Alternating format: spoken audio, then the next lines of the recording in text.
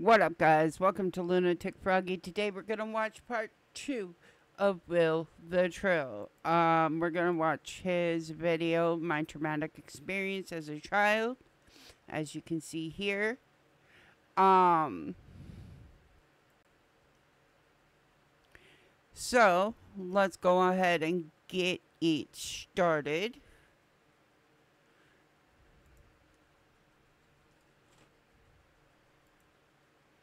I said start. As you know, we put it on part uh 1.25 speed. Aw, well, Oh, I'm sorry. I'm sorry. it's okay to cry, honey. Especially when you're talking about tragedies. It's just not fair. I, I didn't. I didn't deserve this. No, you didn't. I didn't deserve this. My sister didn't deserve this. Amen to that.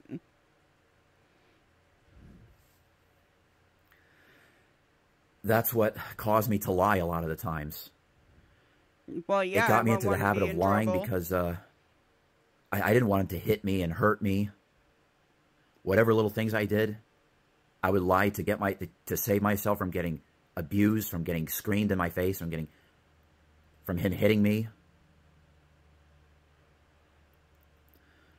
But it was a really bad habit that I uh, a lot of people that have traumatic experiences like Will, when um they get caught lying, they do tend to make it so they're they're not. I mean, they lie, but it's not like I'm lying to uh, just get away with it. It's I'm lying because I don't want my ass tore up again. that, that that was caused by the abuse. The problem was it only made him angrier and it caused me to get into more trouble at school. So, this is a lesson to all you parents out there. What causes your kids to lie to you Is us. is um you being abusive towards them for what they for little things like for if they make a mistake don't go screaming at them don't go hitting them don't make them cry exactly. here's an example because um imagine you're a teacher at school and then encouraging one of your students to uh, tell the truth and then the big red flag would be the student would say uh, if, if i do that my father or my mother will get really mad and then he'll hit they'll hit me and then that'll be a that that's that's a big red flag right there Fuck yeah. that's the one of the main causes of um, children to, to grow up to be But at the same point in time, uh, like I totally understand what you just said, that parent uh, teachers really should pay attention. But then you got kids who, like, don't get abused, don't get hit, and in order to get out of doing stuff, they'll be like, "But but my parents will hit me, my ki-, you know." and it's not the truth. So I mean, there's a catch twenty two, but always definitely check into it, no matter what. be pathological liars a, a lot of the times. This is one of the big causes of it. It took me a very long time to get out of this habit, to know better. It took me a very long time.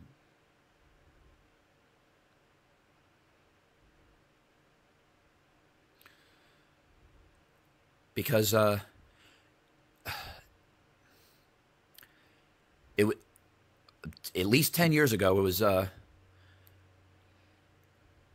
it was a huge like huge pressure to get me to open up like be truthful. Because i was so used to being scared about um Everything. getting screamed at. Being what you really should do manipulated, as a parent just be like um well um for example if your child does something pretty stupid like got in trouble or something My child. But then if your child confesses about what he, he or she did, and then um, what you really should do is like be like, well, um, I was going to make you have no TV for a week, but since you but since you were honest with me, since you told me the truth, I'm going to ma- make your punishment less harsh. You, you're going to have no TV or no internet for, for three days. But I'm proud of you. Um, well, uh, taking away that stuff, like the TV and whatnot, it should be like a day, no matter what. Because of the simple fact that when you take away um, things for such an extended long period of time, eventually they forget why they got it taken away. And sooner or later, they're just like, well, all my shit's to get taken away. And I'm just to do what I want. And I learned that in parenting class. So a week's a little harsh, but you could be like, well, I was to, you know, tell you no TV for the rest of the day, but because you told me the truth, no TV for half the day or um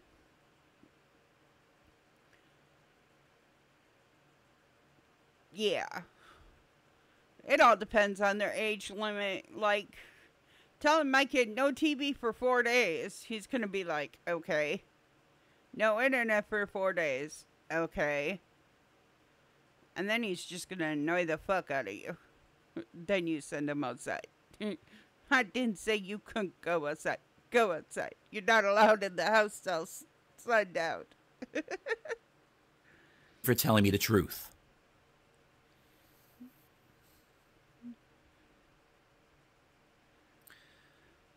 Now back to the way my father treated me a lot of, most of the time.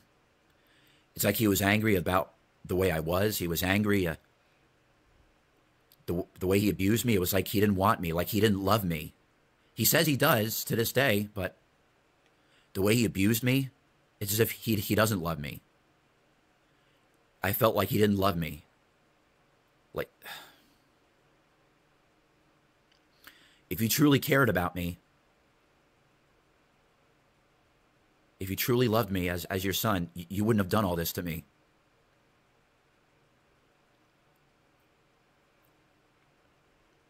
Exactly. He wouldn't have I will tell you that a lot of parents don't That's the biggest issue with uh, borderline personality disorder.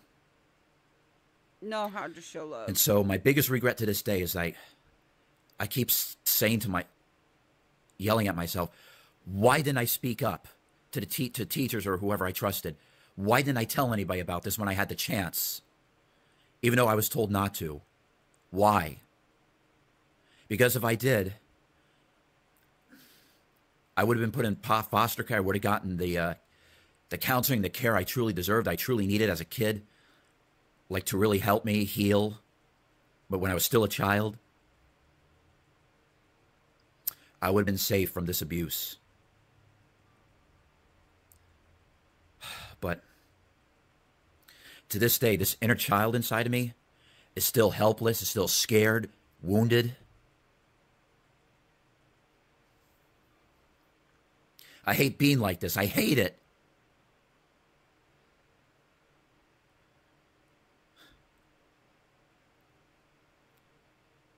I'm sick of it.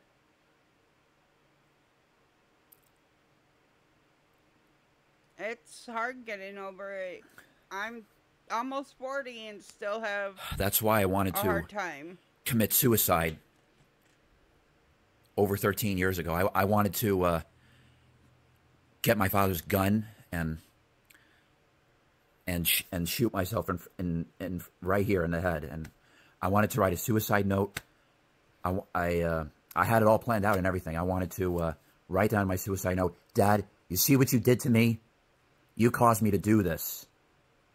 I was God's gift to you, but since you abused your gift from God, you, you, you need to have it taken away.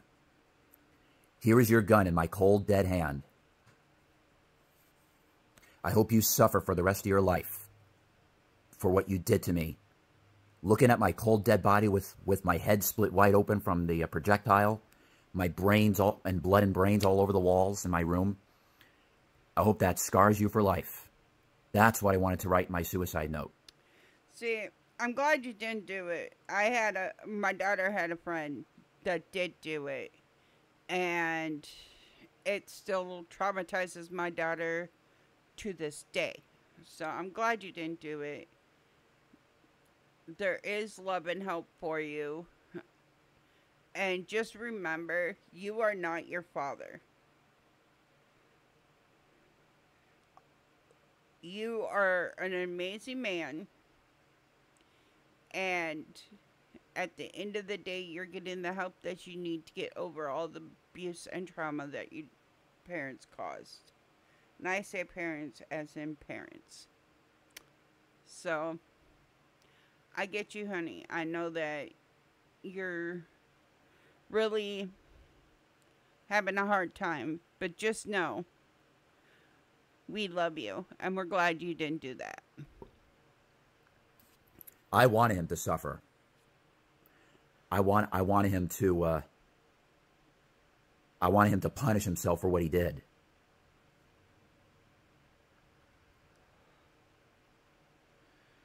But I give myself credit. I, I, I got strong. I, I held on. I, I'm still holding on to this day. Because these flashbacks, they occur. But it's under control when I take my medication.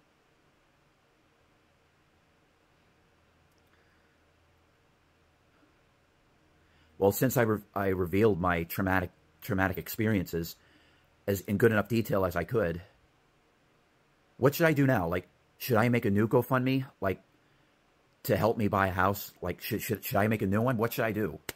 Because I really need a change in environment to really help with the healing process. Because that's what I, I, I've researched, and it says a change in environment, permanent change in environment is what would help with the healing process. Should I make a new GoFundMe account? Because I feel like a huge majority of people didn't want to help, like they didn't care. You tell me in the comment section, what should I do? It's like, I'm working a job, I just... Um, go on Craigslist. A lot of times you can find houses for cheap. Yeah, they might need work, but I have always said that the more work you put into your house, the more love you're going to give your house. Um, but yeah, go on Craigslist and see if you can find a house that they're willing to work with you so you can get into a better situation than what you're in. Just reach a thousand subscribers. Like, I'm gonna try to make money, but the the way my mentality is, my health, my mental health condition, it, with the way it is right now, I really think it should be done as soon as possible. What should I do? because New York City is making it very difficult for somebody, especially like me, somebody like me, very difficult. What should I do? Keep holding All right, strong. so uh, I'm going to end it here. I hope you guys understand. I hope you guys... Yeah, that was Will the Trill. Go show this man some love. He's a really good dude. Okay? he had some serious issues happen to him in his childhood. But please remember, especially Will, what happens in your childhood does not define who you are today. What happens in your life today defines who you are today. As everybody knows, I've been going on a healing journey.